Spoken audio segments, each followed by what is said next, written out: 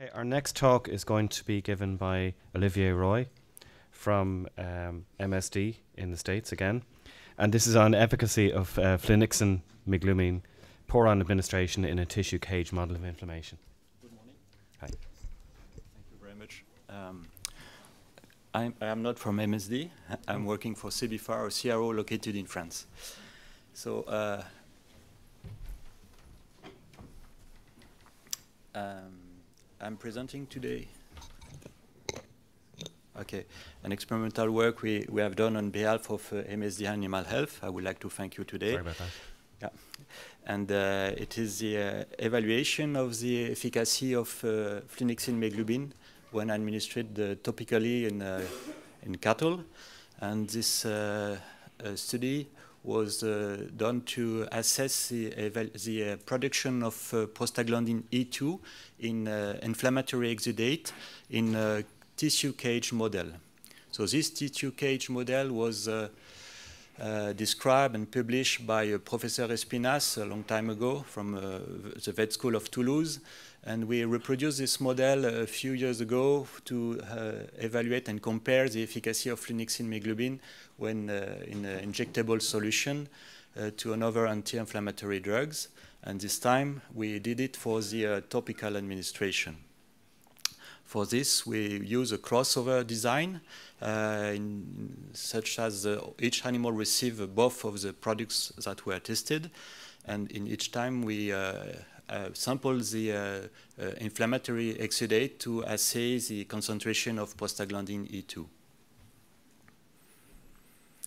So you know uh, about the prostaglandin E2. We consider this is a, a, a major uh, inflammatory marker uh, since this is a very, uh, there, there is an obvious response in the inflammatory process.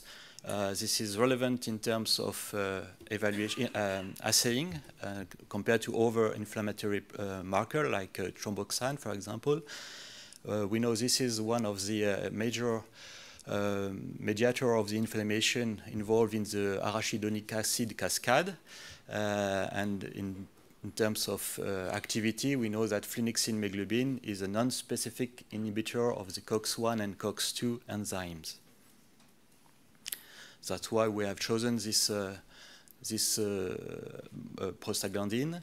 Uh, prostaglandin is uh, derived enzymatically from fatty acid. We know that this is involved in the vasodilation, vascular permeability, and fever, and, and of course pain and most, more specifically in our study, because we, we needed to produce uh, inflammatory exudate, this is one of the uh, major agents for that.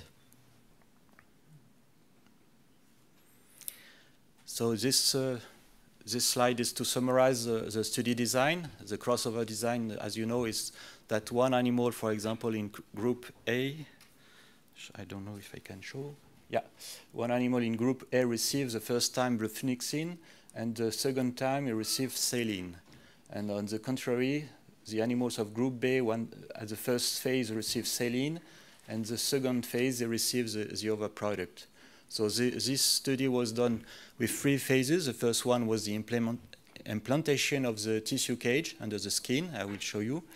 And uh, the two other period correspond to the challenge and the sampling, treatment and sampling of the exudates. So this is a picture of the facilities where we have done the study. So we involved, uh, we included uh, two, uh, six uh, dairy cows and six uh, young bovine. This was done in a GLP facilities uh, with an ethical review of the protocol, of course, and the animals were housed in open barns. So that's a picture of the the what we say the tissue cage. Uh, actually, it's uh, just practice golf balls. Uh, it's polypropylene perforated balls that were, of course, disinfected and inserted into under the skin according to surgical procedure, of course. this is picture you can see. It's at the end of the study, so there are some hair on the on the skin, of course. But this is a, a picture when we sample the uh, exudate directly from the from the balls. The challenge uh, were, was done twice, so once at D0 and the second time at uh, D14. And uh, challenge consisted in the injection of uh, an irritant solution of uh, carrageenan solution. And we had three, four bores in each animals. And just after the challenge, we made the treatment. The treatment was done according to the uh, marketing authorization specification for Finadyne uh, uh, transdermal. And of course, uh, NaCl was done according to the same scheme. So it was one milliliter for uh, 15 uh, kilogram of body weight along the back's midline. Of course, there is no contact between the test product and the balls themselves. Just after this treatment, we started collection of uh, the exudate from the, directly from the, the balls uh, at different time points, up to 48 hours after the challenge. So I, we took three balls, we uh, sampled three balls out of four from each animal, and those uh, samples were mixed and uh, sent for assays after a, a lot of precaution uh, regarding the, uh, the stopping the, the pr inflammatory process. For instance, we put all the tubes in ice, we stop the inflammatory reaction by indomethacin into the tube and so on. The uh, analytical files for was done in a GLP laboratory using a UHPLC MSMS method according to a validated method, so I don't go into the details. And that's the results we obtain. So we observe a, a, a huge difference uh, in terms of uh, time course of this concentration. Uh, for instance, the uh, flunixin meglumine uh, curve the red one was always uh, under the one obtained with the uh, saline group, in the saline group.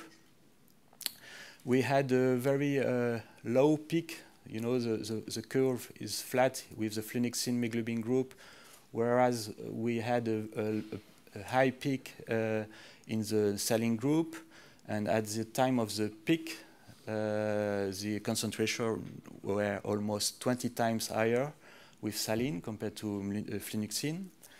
And we observed also that at the end of the uh, sampling period, there were no return to basal level, especially in the saline group.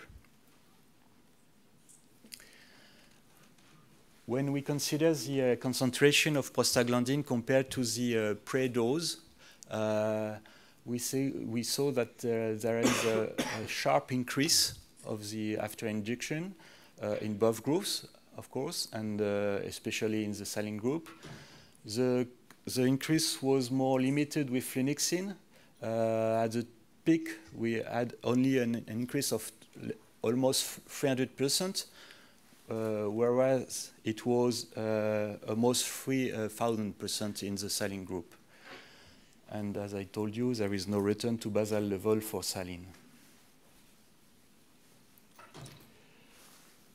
Uh, now, considering the comparison between uh, the two treatments, or let's say the two groups, uh, at each time point, uh, there is a percentage of reduction in the flunixin group compared to saline, which was up to 99, 95% uh, at the peak and remained about uh, almost 90% uh, till the end of the observation period.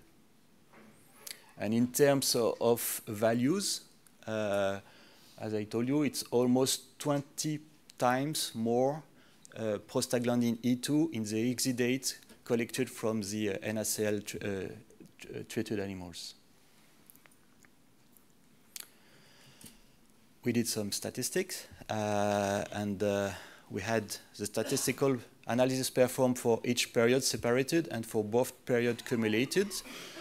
Uh, and at the end, what we observe is a statistical difference from uh, 8 hours to 20, uh, 48 hours after treatment, uh, as you see, with obvious results. I'm sorry. One more.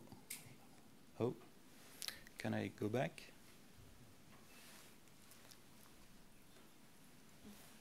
They're trying to fix it. Yeah. Yep. Thank you. Too fast. Uh, I have one more thing about the conclusion. Yeah, it's just to say that Uh, again, this is uh, really specific. We understand this is not, uh, it's, it's only focused on the concentration of prostaglandin, so the purpose was to assess if flunixin indeed reduced the uh, production of prostaglandin, uh, but of course, uh, in this model, there is no other signs like uh, hyperthermia, clinical signs, which was not the, the, the objective of the study. Uh, what we can say after the treatment that there is a rapid speed of action because uh, uh, since two hours up, two hours after the treatment we observe a reduction of this production of prostaglandin. This is a potent anti-inflammatory activity since the, uh, the, concentration were obviously and strongly reduced compared to non-controlled uh, treatment. And uh, in terms of duration of treatment, the effect could be observed till 48 hours after the challenge, which was quite short, maybe because we have uh, uh, compared this study to other study and we wanted to, to have the same duration. But finally, uh, Uh, due to the results we obtain, we may have a, a longer period to see uh, how long it, it could last uh, after this, this time point. Thank you very much for your attention. If you have any question, please do not hesitate.